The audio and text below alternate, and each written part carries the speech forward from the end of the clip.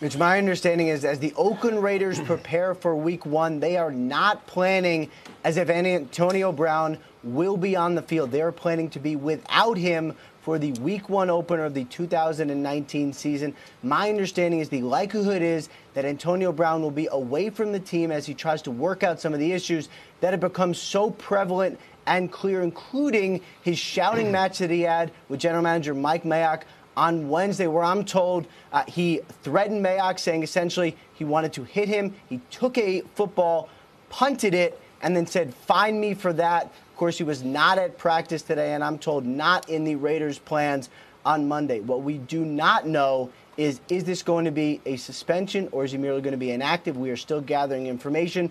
But for those fantasy drafts that are going on right now, and there are some, this is important information.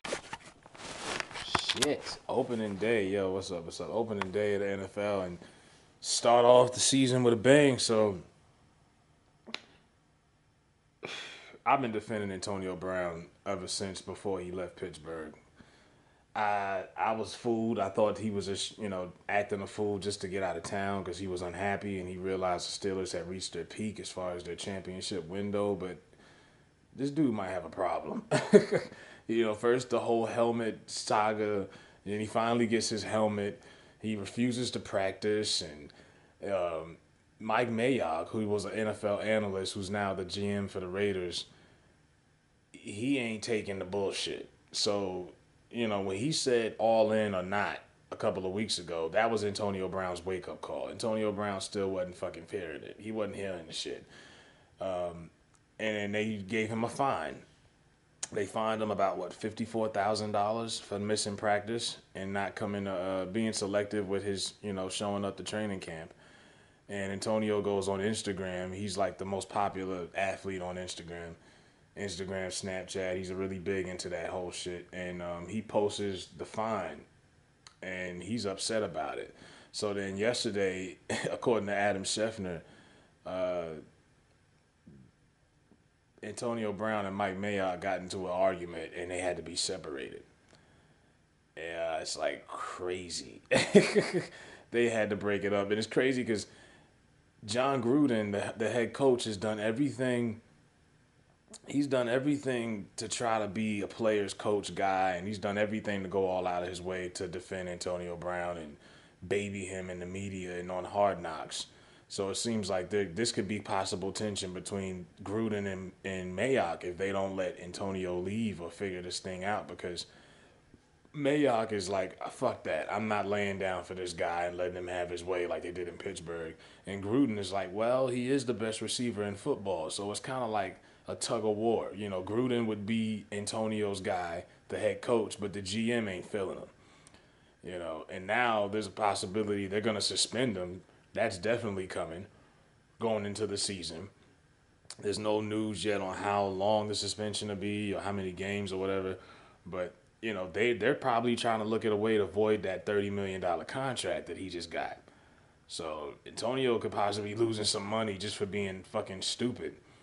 And it's a shame. I mean, you would think he would learn from guys like Chad Johnson and T.O. and, you know, but I don't know. You know, guys who were probably more talented than he was. And Terrell Owens was a monster. And he prematurely had to exit out the league because of his antics. But He makes Terrell Owens look like a like a schoolboy compared to the shit. I mean, imagine if social media was out back when T.O. and Chad Johnson was popping in the NFL. Who knows what they would have been doing? But I, I can't even defend Antonio no more. it's just he's just he's a fucking mess, man. And a lot of shit just doesn't make sense. You're gonna miss practice over a helmet. I mean, a lot of players didn't like the way the new helmets were. They still showed up to work. They're getting paid. You know, you're the highest paid guy on the roster, and you're not showing up because you didn't like the way they tweaked your new helmet. Like, how does the other guys on the team feel? You know, and it's uh, it's not fair to Derek Carr. It's not fair to Jon Gruden because they put so much of an investment into Antonio Brown, and he's not gonna probably be there the first couple of games.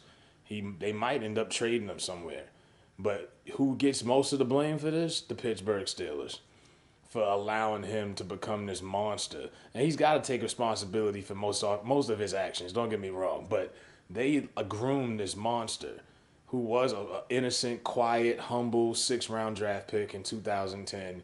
And because he gave them 10, 11 yards, you know, 10, 11 catches a game, 150 yards, whatever, whatever, all these great numbers, they let him get away with it. He's been doing this kind of activity for a while now. It's just in Pittsburgh, they did a really good job of keeping things in house and not letting it spill out to the media up until last year when Ben threw him under the bus in that Denver game and they kind of uh, that rubbed him the wrong way and that's when he said fuck this I'm out you know but in, the thing in Pittsburgh is you had the Hall of Fame quarterback and the respected coach you know and then that that culture they don't have that culture in Oakland there's Gruden is he a Hall of Fame coach I don't think so and Derek Carr definitely hasn't proved to be a Hall of Fame quarterback so I don't think Antonio respects the cornerstones of the franchise, and he definitely feels like he's the best player and the best thing smoking in that facility.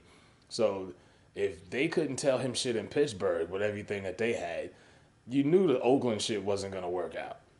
I just hope that, you know, the guy lands somewhere and he probably gets some help. You know what I mean? I don't know if it's you know, it's his social media addiction. Is is he have self worth issues? I don't know, but the dude is crazy, man.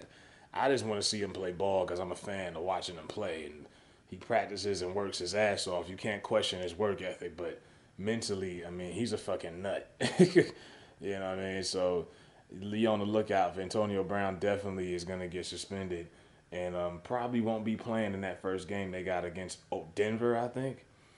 Yeah, so I'm disappointed, man. I, I'm officially off the Antonio Brown attorney defense. I can no longer defend this dude. Period. He is a fucking nut.